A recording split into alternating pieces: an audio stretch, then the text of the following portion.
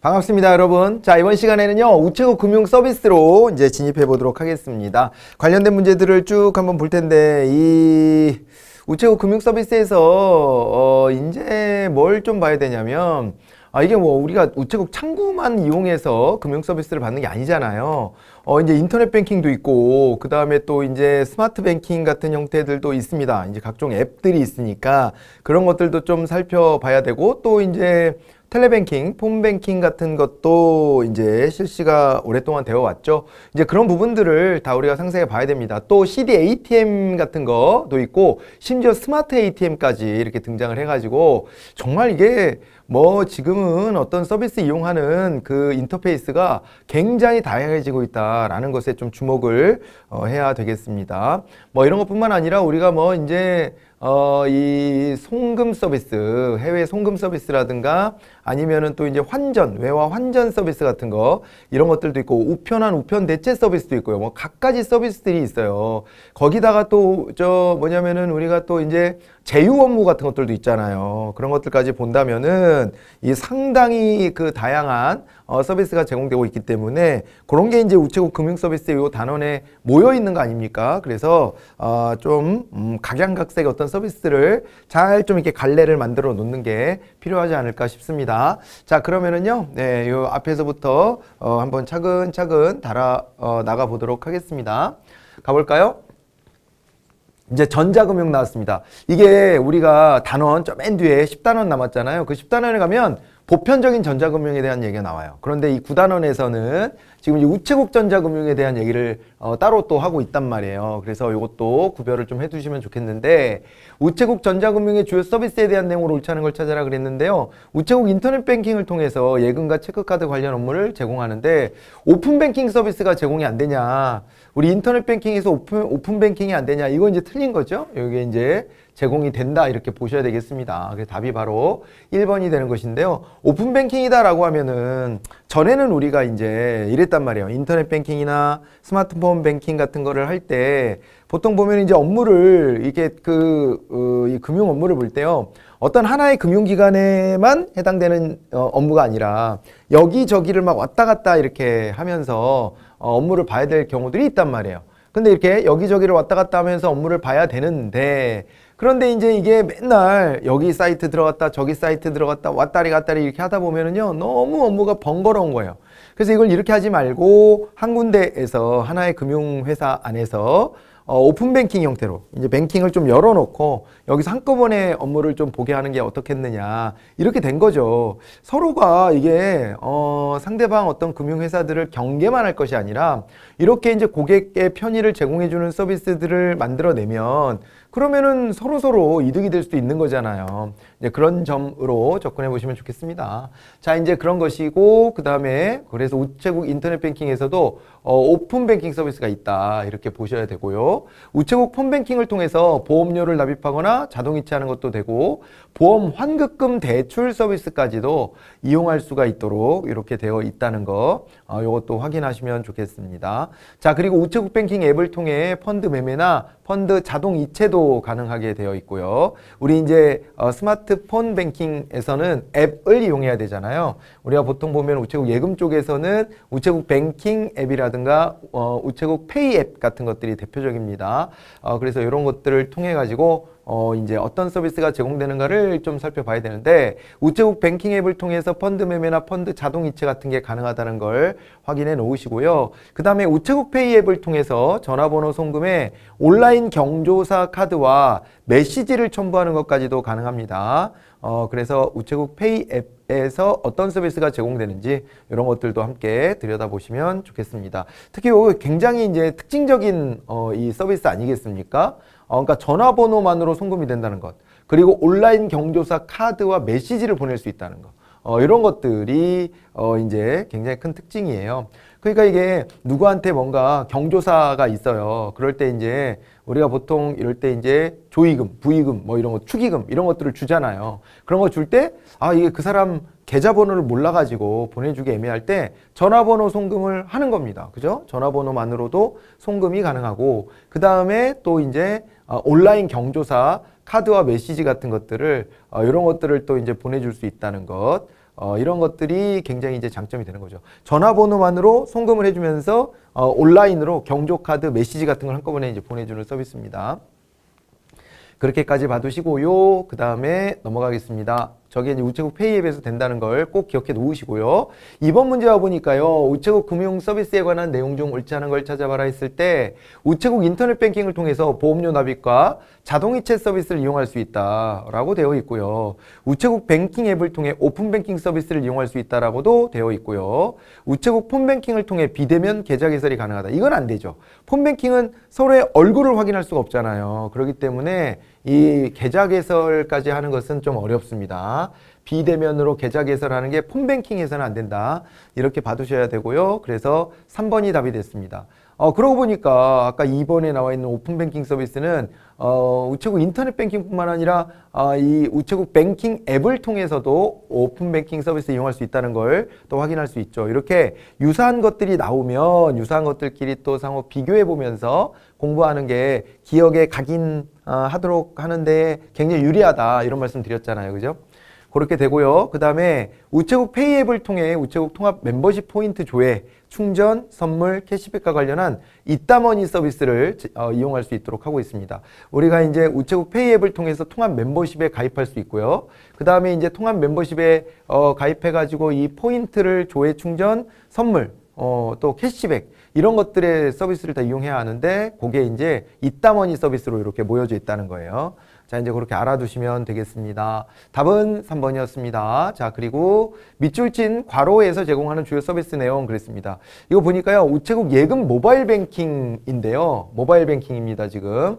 스마트 뱅킹 내지는 모바일 뱅킹 이런 말 씁니다. 스마트폰이라는 말도 쓰고 이게 어, 결국에 폰이기 때문에 모바일 기기란 말이에요. 그래서 이 용어들이 좀 혼용되는 그런 경향이 좀 있긴 합니다.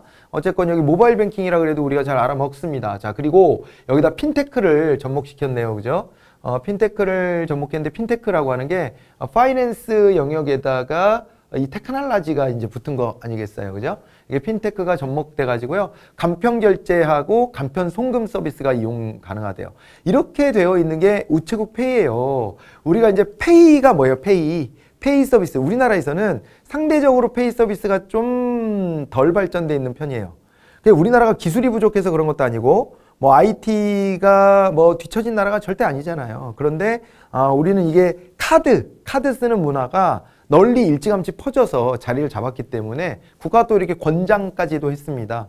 그러다 보니까 어, 요게 그 다음 단계에 등장하게 된 페이 서비스가 크게 그렇게 와닿지 않은 거예요. 그래서 많이 쓰는 뭐 삼성페이 같은 것도 어, 이게 독자적인 어떤 페이 서비스라기보다는 기존에 자기가 사용하던 어, 요 이제 카드 같은 것들을 한꺼번에 카드 지갑 형식으로 이렇게 모아, 모아 가지고 그걸 가지고 이제 어, 삼성페이 같은 거를 많이 쓰죠. 이 스마트폰하고 연계해서 삼성페이 같은 걸 쓰고 뭐 진정한 의미의 페이 서비스들도 뭐 각 업체들마다 많이 만들어 놓고 있긴 한데 그리고 그, 그걸로 유인하기 위한 노력들도 많이 하는데 좀 귀찮기도 하고 그래서 많이 쓰지는 않는 경향이 있습니다. 우리나라는. 예. 상대적으로 옆 나라 중국 같은 경우에는 이게 신용카드망이 전국으로 깔리기 전에 페이가 이제 발전하면서 지금은 이제 오히려 현금을 안 받고 페이만 받는 경우들이 상당히 많다고 하죠. 그래서 중국에 이제 여행 갔을 때도 현금을 아무리 환전해서 어, 위안화를 가지고 있더라도 어디 식당 같은 데 밥을 먹고 자칫 잘못하면 이게 계산이 좀 번거로울 때도 있대요. 그러니까 오히려 페이만 또 받겠다 하는 경우들이 있어 가지고요. 그렇다 하더라고요. 그래서 어, 이게 이제 어, 이런 식으로 이제 페이가 상당히 이제 어, 편리한 서비스인데 우리나라는 조금 그게 활성화가 좀 덜 돼 있는 건데 우체국에서도 우체국 페이 앱을 가지고 있습니다. 그래서 요 페이 앱을 통해 가지고 간편 결제, 간편 송금 같은 게 되도록 하고 있는 거예요. 어떤 결제나 그 다음에 돈 보내주고 할 때 요게 이제 편리한 서비스가 바로 페이 서비스라는 거 이거 잊지 말고 어, 기억해 놓으시면 우체국 페이 앱이 요거랑 연결돼 있다는 것을 찾는데 어려움을 겪지는 않으실 겁니다. 자 그래서 우체국 페이 앱이라고 하는 것을 우리가 찾아냈고요. 여기서 제공하고 있는 주요 서비스의 내용으로 옳은 것을 찾아라 그랬어요. 옳은 걸 찾는 겁니다. 자, 수신자의 휴대전화 번호만 알면 경조금 및 경조카드를 보낼 수 있다라고 하는 것인데요. 어, 요거는 이제 앞에서도 우리가 봤잖아요. 그죠? 우체국 페이앱에서 제공하는 서비스로 어, 이거를 이제 살펴봤습니다. 그래서 어, 요거 이제 어, 바로 1번을 답으로 이렇게 찾아내시면 되는 것이고요. 자, 이제 그런데 지금 이거요. 보이스피싱 피해 신고 서비스를 제공받을 수가 있고 조회와 이체를 할 때 쉬운 말 서비스가 제공되는 것은 이것은 이제 우체국 폰뱅킹 쪽으로 이렇게 이제 기억을 해 두시면 좋겠습니다. 자, 그렇게 되고요. 그 다음에 비대면 서류 제출이나 모바일 번호표, 증명서 발급, 전자 문서 지갑 이런 어, 기능들을 제공하는 것은요. 어, 우체국 뱅킹 앱으로 이렇게 보셔야 됩니다. 우체국 페이 앱이 아니고요. 우체국 뱅킹 앱이에요. 자, 이제 그렇게 나눠서 보셔야 되기 때문에 요거 답은 이제 잘 찾으셨죠? 그죠? 네, 답은 1번으로 이렇게 확인하시면 되겠습니다. 뭐 어렵지 않은 문제였습니다. 자, 그리고 우체국 뱅킹 앱의 서비스에 해당하지 않는 게 뭐냐? 어, 그랬습니다. 계좌 조회, 그리고 이제 거래 내역 조회, 이체 결과 조회, 수표 조회 이런 거 다 되고요. 오픈 뱅킹 된다 그랬습니다. 그리고 오픈 뱅킹 이체, 착오 송금 반환 이런 서비스, 차고 송금 반환에 대한 서비스를 우리 이제 우체국 뱅킹 앱을 통해서 어, 이용할 수 있다는 것도 꼭 기억해 놓으셨으면 좋겠습니다.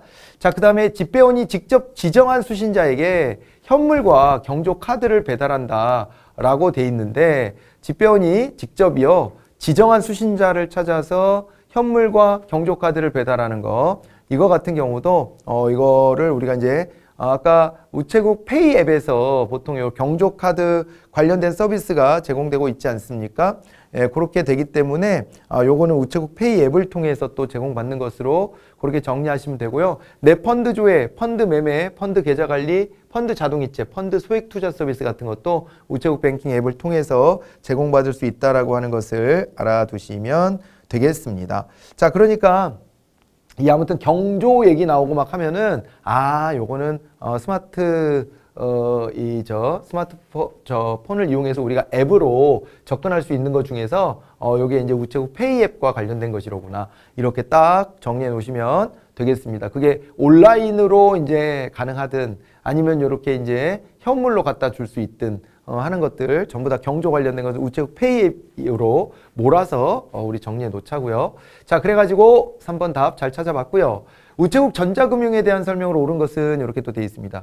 우체국 미니앱은 이제 사라졌습니다만 우체국 미니앱이라고 하는 게요. 어, 과거에 있었는데 우체국 방문 없이 보험 가입, 보험금 청구 등 어, 우체국 보험과 관련된 다양한 서비스를 모바일로 간편하게 이용할 수 있는 우체국 스마트 보험 모바일 앱이다. 이거는 그냥 우체국 보험이라는 앱이 있습니다. 우체국 보험이라는 앱이 있기 때문에 우체국 미니 앱은 역시나 지금은 이제 기억하지 않아도 될 앱입니다. 어, 그래서 어, 요거는 이제 틀린 것으로 보시면 되겠고요. 그 다음에 우체국 보험 앱은 바코드를 통해서 우체국 통합 멤버십 포인트로 카페, 편의점 등 생활 밀접형 가맹점에서 오프라인 결제가 가능한 포인트 결제 서비스를 제공한다 그랬는데 또 결제와 관련된 것이기도 하고 그 다음에 이 통합 멤버십 포인트 이거에 관련된 얘기가 나왔다면 이거는 이제 우체국 페이 앱으로 여러분들이 또 정리를 해 놓으셔야 어, 하는 내용입니다. 그죠?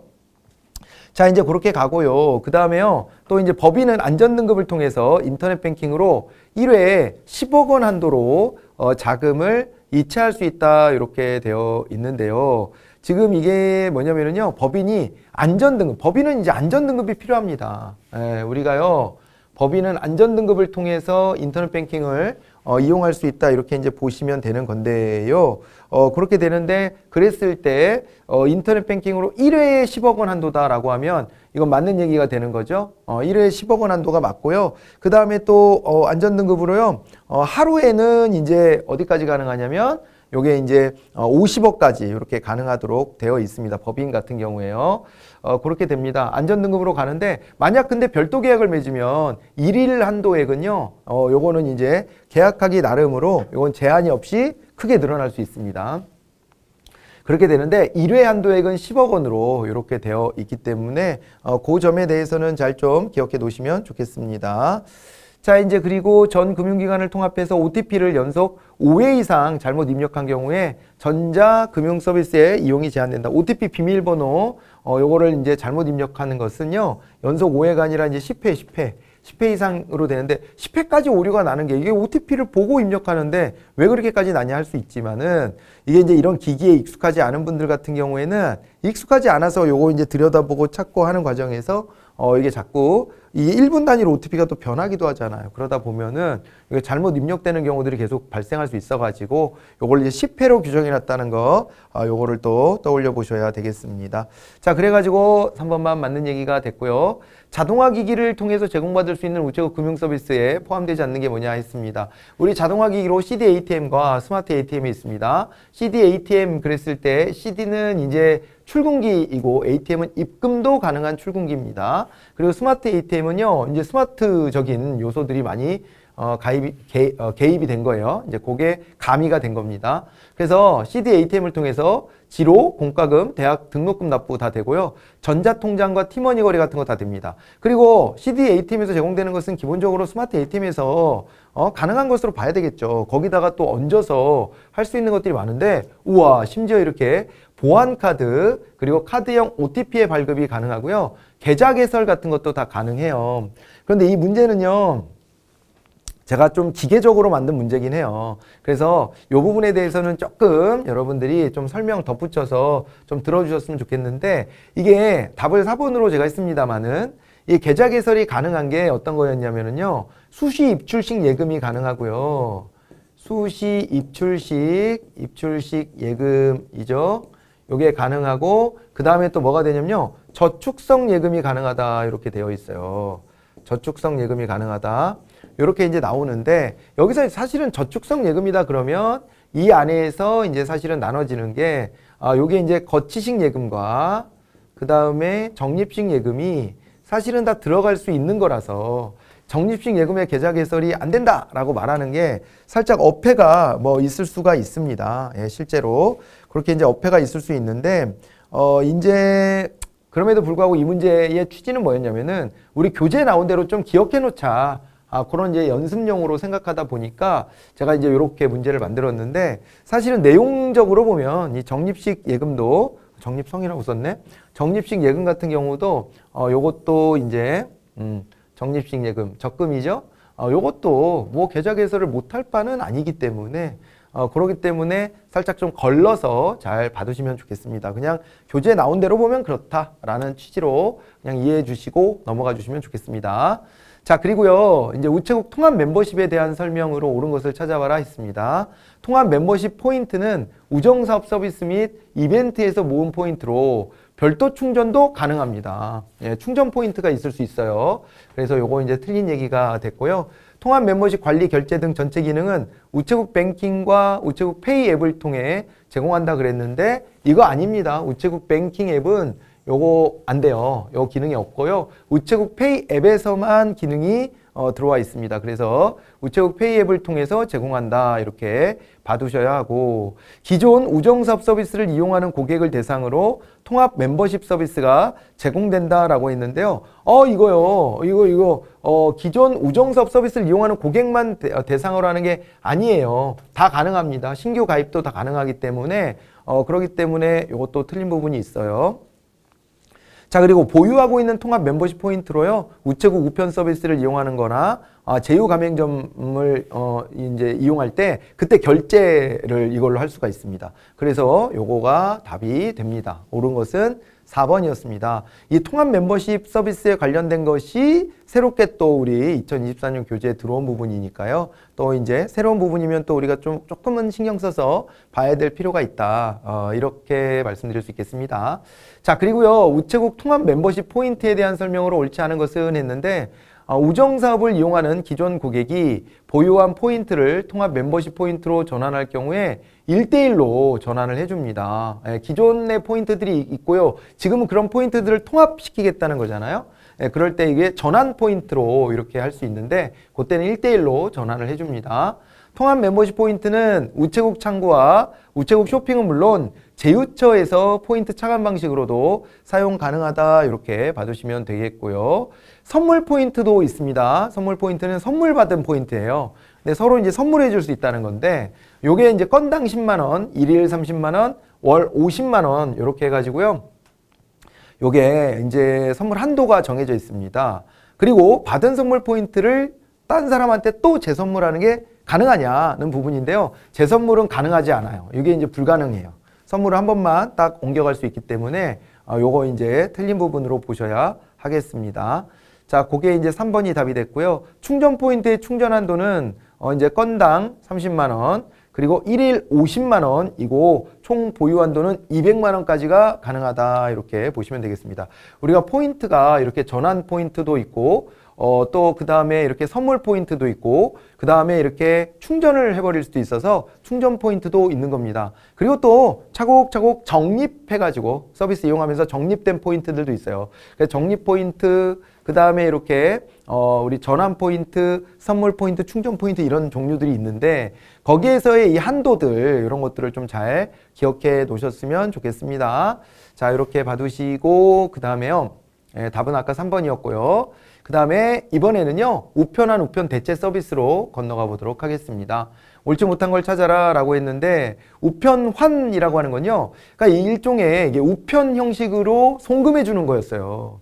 과거에는 인터넷 뱅킹도 없던 시절이 있었고 그 다음에 또 어, 은행 같은 게 또 잘 없는 아, 이런 이제 인구가 적은 지역들도 있었기 때문에 그런 경우에는 우체국을 통해 가지고 이렇게 이제 어, 송금 서비스를 이용할 수 있도록 해주면 더 편리하지 않을까 해서 우편한 서비스가 제공이 됐던 거고요. 우편 대체 서비스는 이제 계좌를 어, 우편의 어, 어떤 그 기능을 활용해서 대체 계좌를 만들어 주, 줬던 이런 서비스라고 보면 돼요. 그러니까 우체국에서 그러니까 우체국이 이제 금융 기능 말고 우편 기능 고유의 영역 안에서도 금융적인 것들을 같이 얹어서 서비스를 제공했던 거예요.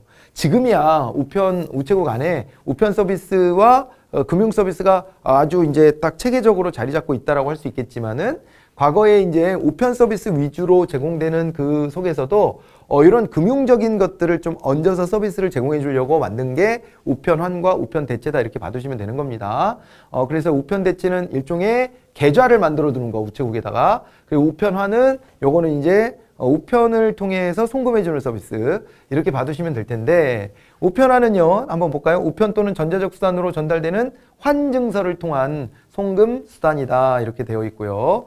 우체국의 우편환 서비스는 크게 통상환도 있고 온라인환도 있고 경조금 배달 서비스도 하나 또 여기서 추가가 됩니다. 우편환을 통해서도 경조금 배달 서비스를 이용할 수 있고요. 우편 대체는 우체국에 개설한 우편 대체 계좌를 통해서 자금 결제를 할 수 있는 일종의 이제 계좌 서비스예요. 계좌 서비스. 그래서 1, 2, 3번이 다 이제 맞는 얘기가 됐는데 우편 대체를 통해 공과금 수납 가능합니다. 그리고 공과금에 자동이체 서비스가 제공되지 않는다 그랬는데 이게 틀린 부분이에요. 자동이체 서비스도 제공된다. 이렇게 정리를 해 두시면 되겠습니다. 그래서 이 자동이체까지 포함한다면 답이 4번이 어, 되는 거예요. 아시겠죠? 자, 이제 그렇게 봐두시고요. 예, 이제 어 그리고 넘어가서 10번 문제로 가보겠습니다. 우체국 해외 송금 서비스로 이제 건너가 보도록 하겠습니다. 이제 송금을 어 이제 해외로도 보낼 수 있는 거잖아요.